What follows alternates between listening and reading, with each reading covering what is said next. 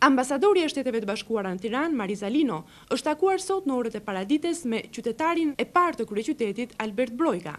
Sipas këtij të fundit, takimi ka qenë brenda kuadrit të një takimi kortezie ku të dy personalitetet i kanë dhënë urimet e ndërsjellta njëri-tjetrit për fillimin e mbarë të vitit.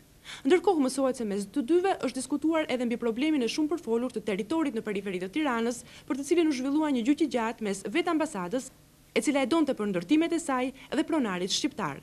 Para Brojkës, Lino është takuar në këtë fillim viti edhe me kryeministrin shqiptar dhe presidentin e Republikës Meidani.